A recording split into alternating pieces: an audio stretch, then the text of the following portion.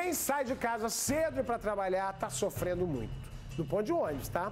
Lá em Jardim Bela Vista, na Serra, aconteceu de novo, tá, gente? E o problema não é o busão, não, tá? Vamos não. entender essa história com Marla Bermudes Balança. O assalto aconteceu em plena madrugada, às 4h50 da manhã desta segunda-feira. O ponto de ônibus alvo dos bandidos foi esse, que fica próximo a uma garagem de ônibus na BR-101, em Jardim Bela Vista, na Serra. O que chama a atenção nesse assalto é a audácia dos criminosos. Que bandido não respeita nada, a gente já sabe. Mas desta vez, até as próprias vítimas afirmam que eles passaram do limite. Um assalto que aconteceu aqui, em plena BR-101, por volta das 4h50 da manhã, e os bandidos não estavam nem aí se era mulher, se as vítimas eram mulheres, se eram gestantes, se eram idosos. Eles saíram fazendo a limpa e conseguiram levar todos os pertences das pessoas. Nós conversamos com um soldador de 35 anos. Ele foi uma das vítimas. Teve todos os pertences levados. O homem está em choque e, por isso, não quis gravar entrevista. Quem topou conversar com a nossa equipe foi a esposa dele. Ela contou que era bem cedo quando os bandidos se aproximaram do ponto de ônibus. Eram quatro indivíduos na moto.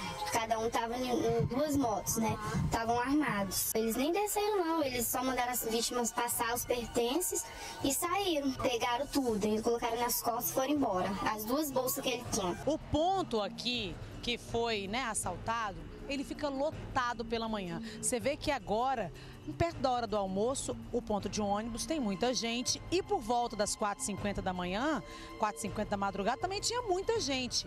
A vítima com quem nós conversamos é um soldador.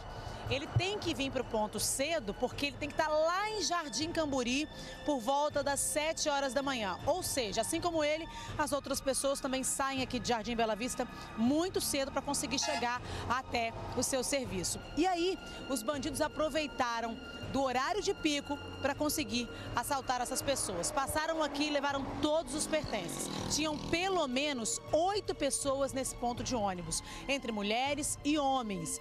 E uma dessas vítimas reagiu ao assalto, pediu para que os criminosos levassem a Bíblia dele.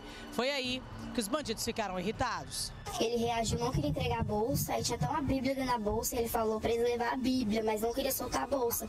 Aí os bandidos começaram a gritar com ele, aí até que puxaram dele à força. A esposa do soldador conta que assaltos assim sempre acontecem. No caso do soldador, foram roubados celular, cartão de crédito e cartão de débito, documentos dele e também da esposa, já que hoje ele ia incluir a mulher no plano de saúde da empresa.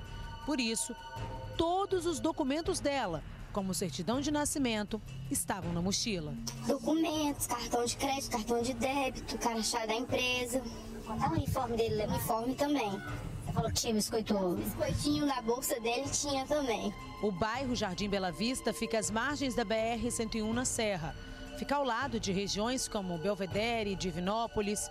Os moradores acreditam que os bandidos usaram essa estrada de chão para acessar o bairro.